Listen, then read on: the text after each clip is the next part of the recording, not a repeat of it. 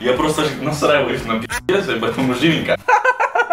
Привет, меня зовут Игорь, и сегодня мы будем обозревать игру For. Так получилось, что мы с командой подумали, что предыдущие выпуски были не совсем интересны и внедрили небольшое новшество. В данном случае оно будет заключаться в том, что на протяжении всего обзора я буду кушать непонятные такие острые, сладкие, сильно кислые продукты, овощи, фрукты. Сегодня у нас будет перчик. Ну что, погнали. Беру самый большой. Ты можешь доесть перец Я сейчас трону. Сек. Игра Фона была... Игра Фона была представлена в этом году на E3 от компании Ubisoft. Вот. Ubisoft до последнего скрывала какие-то, какую-то информацию, новости об этой игре. И когда была презентация, все просто обалдели. Где мятные конфеты?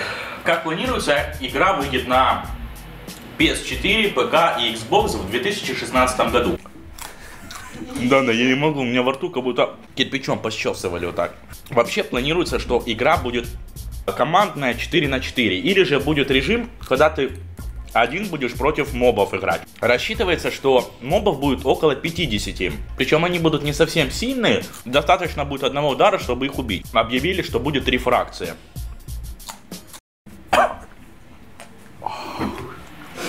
Я на руку душу, она загорает.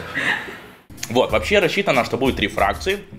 Э, Легионеры, рожденные в бою и избранные. И в каждой фракции будет по три персонажа. Это самурай, рыцарь и викинг.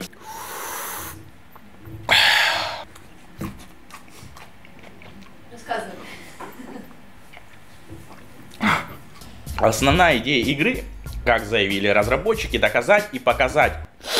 Господи.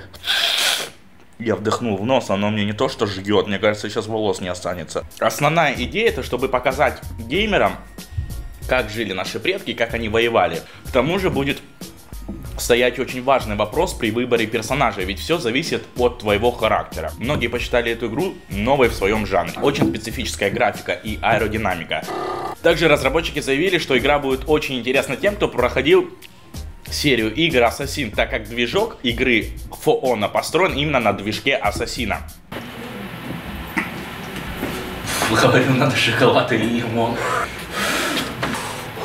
Тут как будто вот от ног начинает жечь и прям вот сюда в уши залазит. Основная задача в игре это захватить точки А, Б и С. Разработчики пообещали, что они сделают все возможное, чтобы игра была не настолько скучной и не настолько предсказуемой. Первые, кто протестировали эту игру, заявили, что такой игры не было давным-давно, поэтому будем ждать, что это будет что-то новое, что-то интересное. Да.